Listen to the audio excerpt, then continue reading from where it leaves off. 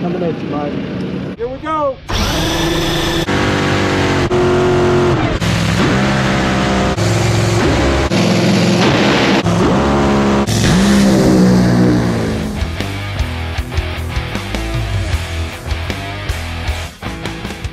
All right, folks, I get this question a whole lot. What do I do in the top fuel car?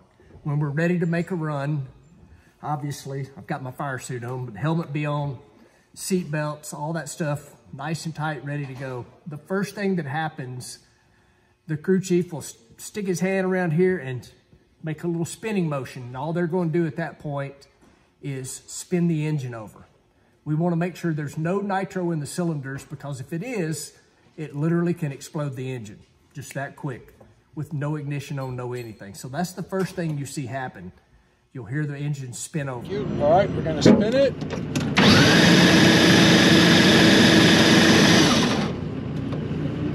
And then at that point, I'm going to push the clutch pedal in, which is gonna be really hard to see. I've got on my fancy shoes, but there is a normal clutch pedal down here.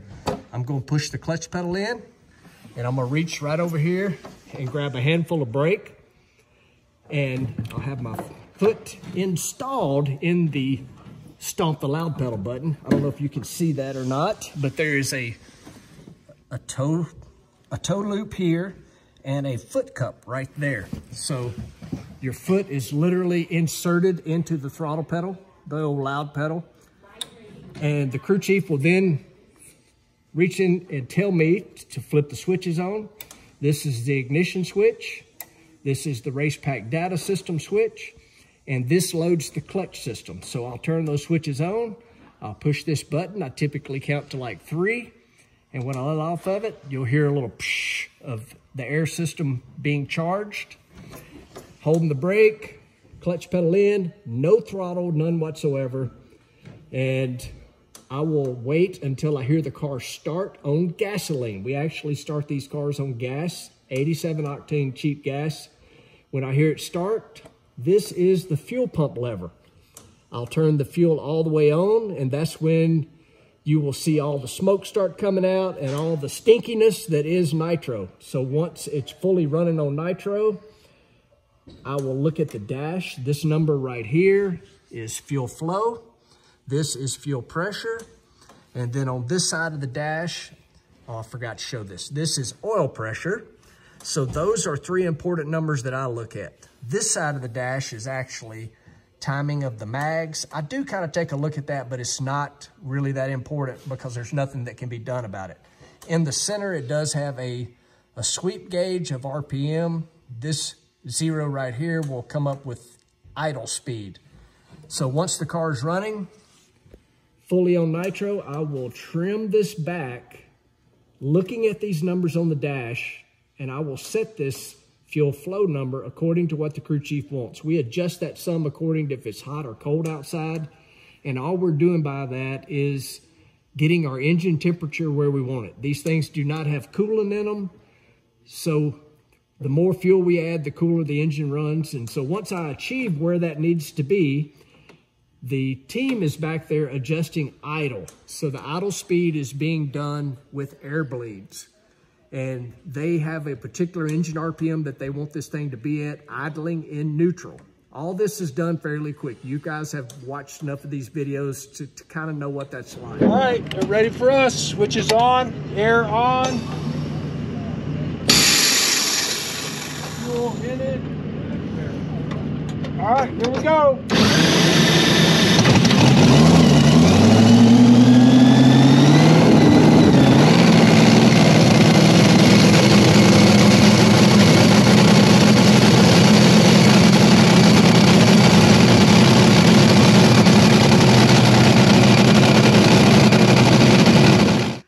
Once they're done, the crew chief will kind of run past me.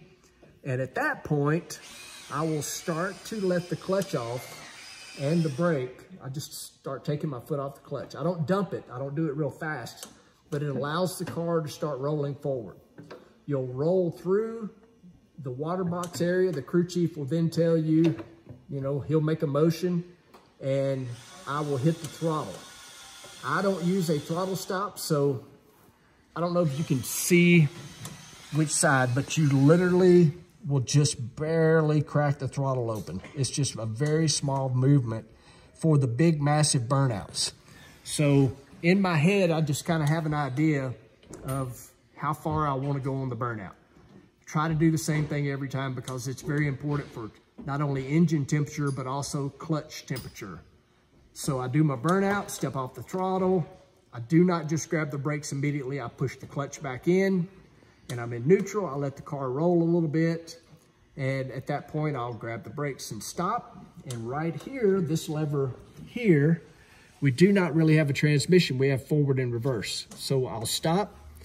I will move this lever into the reverse gear, which is there. And I'll start working my foot in and off of the clutch pedal to back up, to maintain whatever speed I want backing up. It's just a little in, out. Again, never ever hitting the throttle at all. So I'll back up to where the team tells me they're, they're good. I'll stop. I'll simply put the car back in forward gear.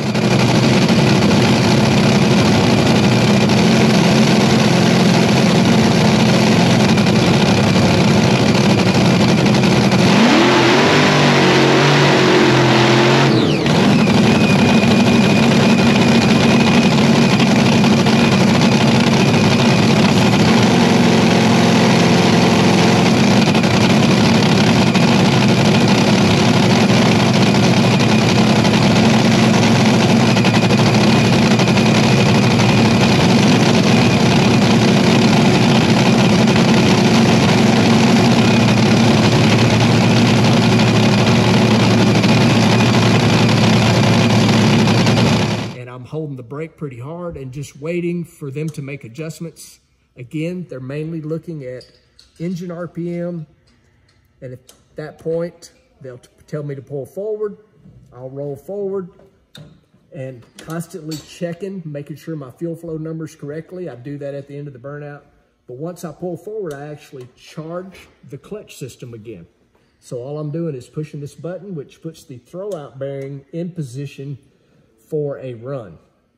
Once the, the, crew chief gives me the wave in, what I do at that point, I close my visor on the helmet and I will work the clutch in and out again, turn the top stage bulb on, I'll reach over, pull the fuel all the way on.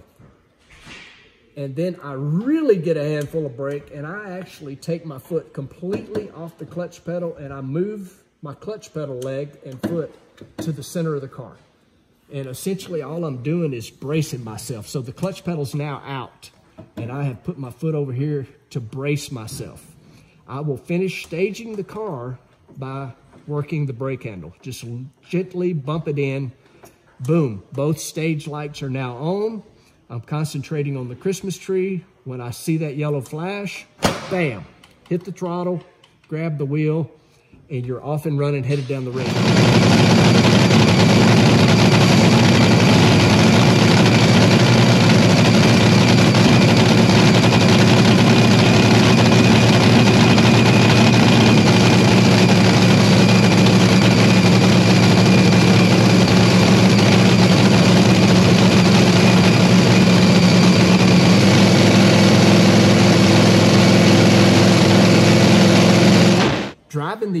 Things according to what the car does, it's a lot of gentle movements with the wheel. It's never big slashing movements. The car's constantly trying for the back to pass the front. Dragsters kind of do this going down the racetrack. And so you're making just nice, gentle movements.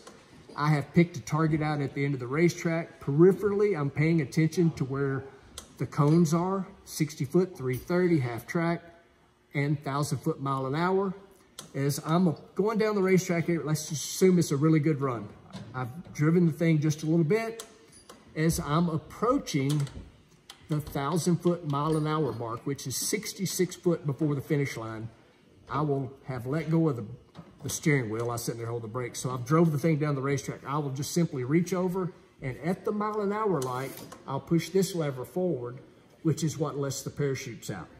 I feel the parachutes hit, step, I've stepped off the throttle, and you gently work the brakes to bring the car to a stop. At that point, you reach over, cut the switches off, shut the fuel off, and hopefully you just completed a 3.6 something second ride at over 330 miles.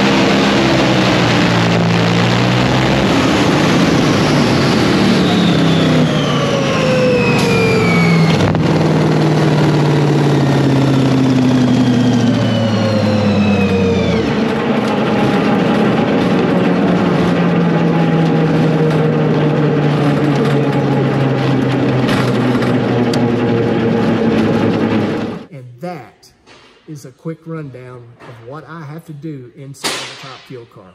Now you could drive a top fuel car too.